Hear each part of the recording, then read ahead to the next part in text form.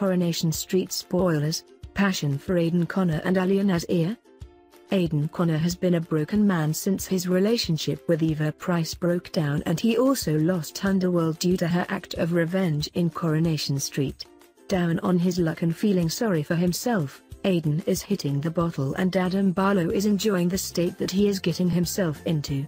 Taking the opportunity to goad him while he is at his lowest ebb, Adam pushes all of Aidan's buttons, prompting him to try and attack him. Johnny is forced to drag Aidan home and gives him a pep talk, urging him to sort himself out. Determined to get his life back together, Aidan has a proposition for Alya Nazir. They should go into business together.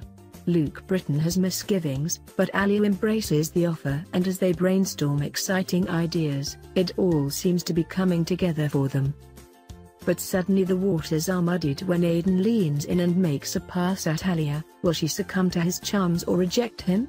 One to watch, Friday 27 October at 7.30pm on ITV, ITV.